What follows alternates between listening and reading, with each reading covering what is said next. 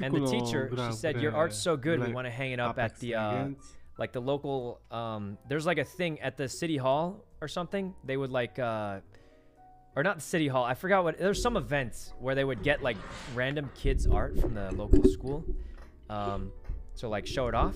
And she said your your drawing was really good and it was a drawing of like a plant or something i forgot. and then she said can we do we have your permission to like take it? You know you're not gonna get to keep it and we'll put it up there. And i said sure and then she gave me a b. And it was so strange. Damn. it was so mean be- strange that she did that. It was just kind of bat champ you know?